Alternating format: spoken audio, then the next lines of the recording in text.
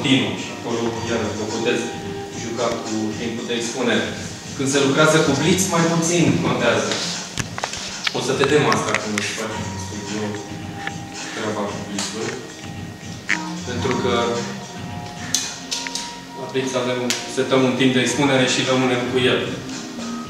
Blitzul are, prin definiție, are un timp scurt de, de declanșare. Blitzurile de aparat au 1, 200 oți. 200, 300, 400, 500.